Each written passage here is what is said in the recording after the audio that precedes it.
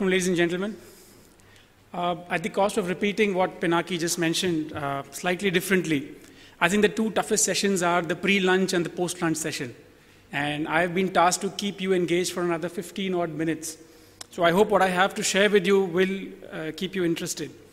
So before I begin, uh, can I request with a show of hands how many uh, participants here are aware of something called as PCI DSS? Well, that's good. Think about 40%.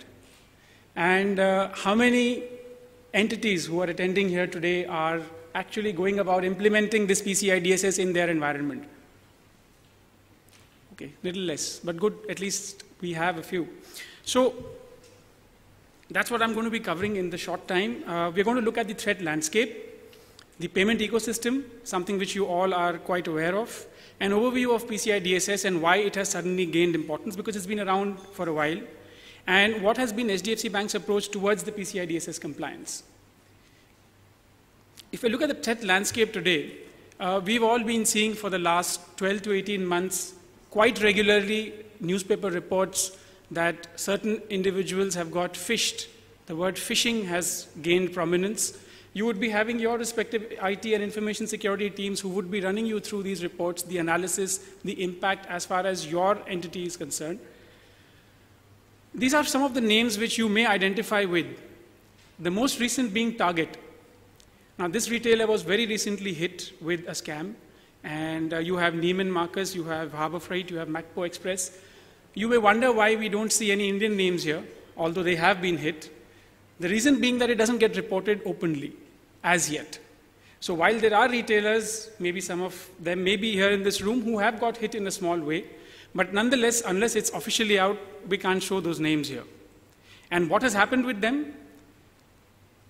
These names that you see, Jack Poss, Dexter, Chewbacca. Now, Chewbacca, if you are a sci-fi fan, I, I, am one. So in Star Wars, there was this animated creature called Chewbacca who, who was a crazy guy who used to go do things on his own.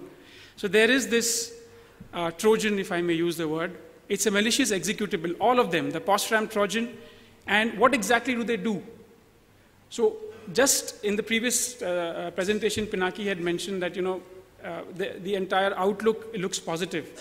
Well, if you ask me, while I am from the financial domain and I am working with the bank in the information security group, I'll say it's not very positive, it's a little bit grim.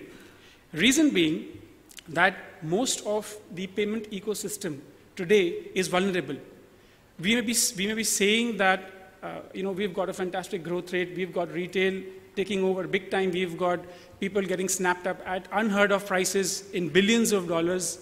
But at the same time, we need to understand that what is it that we are trying to achieve at the end of the day? What Pinaki brought out was show me the money. And while you may be wanting to do it for all the right reasons, there are people out there who are leveraging technology for the wrong reasons. Now, a very simple case, which I will take you through when I take you through the payment ecosystem slide, would be that you have your end customer, then there's you, and then there is either a bank or a service provider who's facilitating the entire payment chain. And how it gets exploited is what we need to look at. This particular slide is of absolute relevance today in the Indian retail scenario. Now, if you look at it, most of you will identify with it that at the point of sale system, that's where the money starts ringing in. When you give an option to the customer to pay by card, you may be having your own MIS systems running, you may be having your own payment and billing systems running. Some of you have it in-house, some of you have it provided by a third party.